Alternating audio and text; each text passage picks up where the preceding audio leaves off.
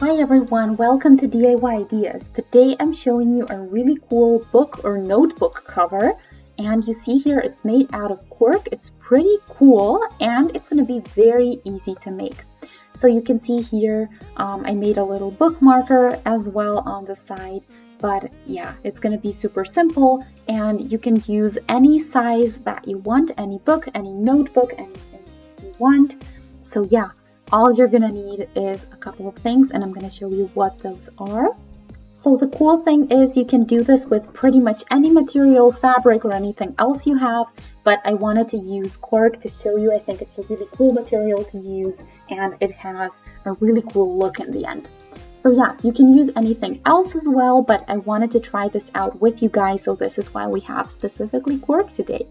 So yeah, I'm gonna show you how you can do this all by yourself in a matter of minutes, so make sure you stay tuned.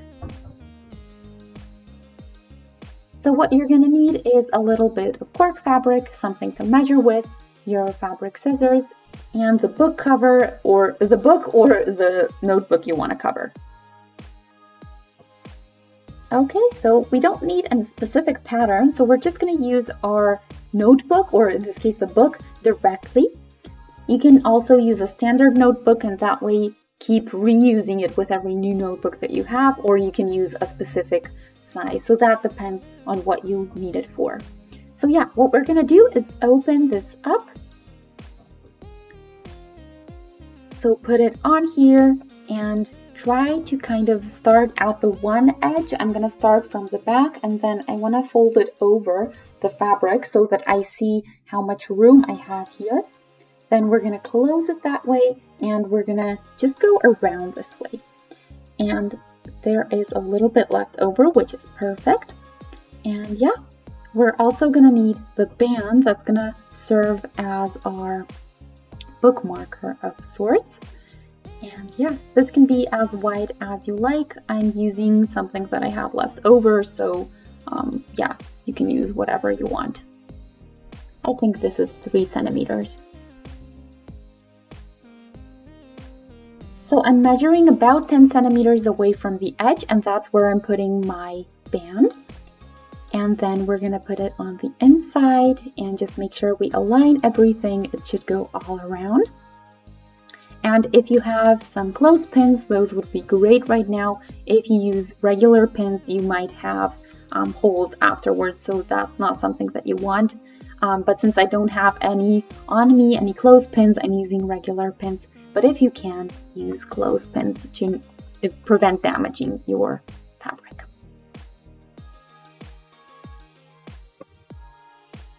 Okay, so this is looking good. It's in place exactly where I want it.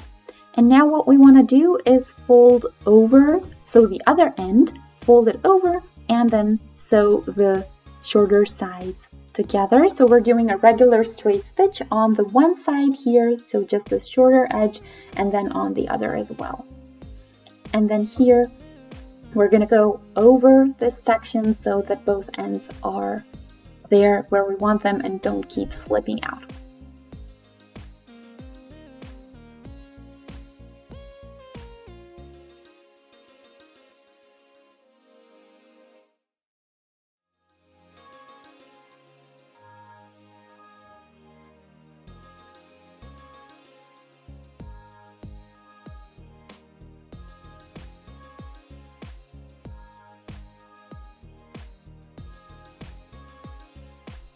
So this is what you have now, and this is all that you're gonna need basically. So the two smaller um, pieces and then the band here, and that's all that we want.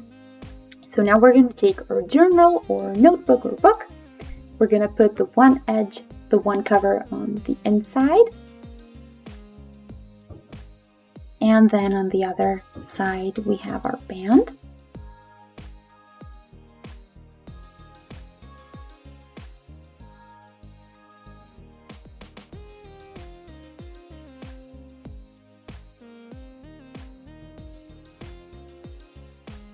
This is looking good. And now what we're gonna do is fold it over one more time. And then we can put it through the band. So I don't have another one here, so another one of um, what I did on the first side, so on the front side. Instead, I did it a little bit differently with the band because this way this can be as thick or as thin as you want it because you can adjust the thickness. Um, yeah, but in this case, you won't be able to use the band as a bookmark because it's keeping this side um, where it should be. But yeah, if you did both sides the same, then you have a little bit less flexibility as far as thickness of the book or notebook goes, but you can definitely use the band as your bookmark. So either way, I think it looks pretty cool and you can see how fast this project was. So if you're doing it the exact same way as I am, you're going to be having your result in just a matter of minutes, which is awesome. So you can see what this looks like right now and you can of course customize it and make it even um, more fancy and do all kinds of stuff here, so decorate it. And apart from that, yeah, we're pretty much done. I hope you guys like the way this looks. If you did enjoy the project, you can let me know by shooting a thumbs up. You can also subscribe to my channel if you'd like, and that way always be up to date with all of my other videos. If you click on the notification bell, you're even going to be able to get a notification every time I post something new. So I hope you guys enjoyed. I hope to see you in one of my next videos. Thanks for watching and I wish you a wonderful day and see you in my next project. Bye!